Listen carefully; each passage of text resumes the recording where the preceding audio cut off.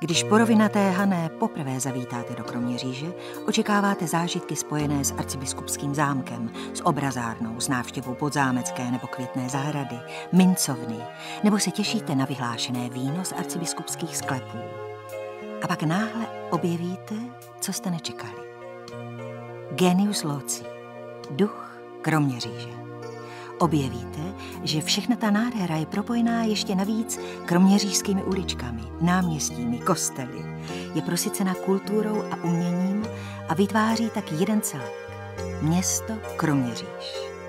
Toto propojení dává městu s více jak 700 letou historií jedinečný a neopakovatelný ráz. Městská památková rezervace se pišní řadou náměstí, sněmovní, Stojanovo, Rýgrovo, Masarykovo. Každé z nich má svoji atmosféru, ale centrem, kromě říjského dění, je velké náměstí. Dominuje mu radnice z 16. století s barokním mariánským sloupem a kašnou. Je obklopeno řadou měšťanských a kapitulních domů a v jejich podloubích najdeme obchůdky, galerie, ale i možnosti oddechu a příjemného posezení.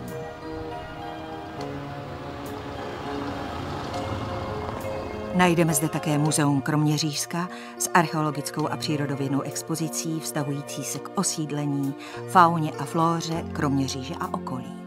Najdeme zde však především památník Maxe Švabinského. Umělecký vývoj tohoto významného českého malíře a grafika je prezentován v šesti sálech. Díla jako růžový portrét, žlutý slunečník, ateliér, řada dřevorytů, nebo návrhy bankovek a známek jsou jen krátkým výčtem z bohaté tvorby kroměřížského rodáka. Švabinského odkaz je prostoupen celou Kroměříží. V areálu bývalého františkánského kláštera, kde prožil své dětství, jsou umístěny jeho čtyři mozaikové lunety, původně určené pro výzdobu Národního divadla v Praze. Ano, město je prosyceno kulturou a uměním. Vyhlášené jsou hudební festivaly. Mezinárodní festival současného umění s duchovním zaměřením Forfest, festival Hudba v zahradách a zámku, Mezinárodní festival vojenských hudeb a řada dalších akcí, především v průběhu léta rozezní Kroměříž.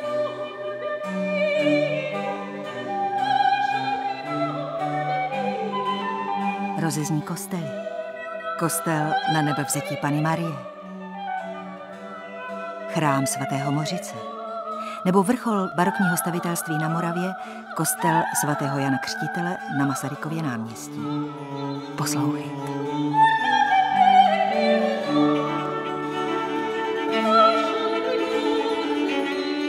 Je to hodně, co byste mohli prožít. Můžete se i vydat na projišťku člunem po Moravě, nebo si odpočinout v rekreačním areálu Bajda v těsném sousedství podzámecké zahrady. Vychutnejte si prostředí i speciality místních restaurací. Nebo umocněte své zážitky vyhlídkovým letem nad Kroměříží.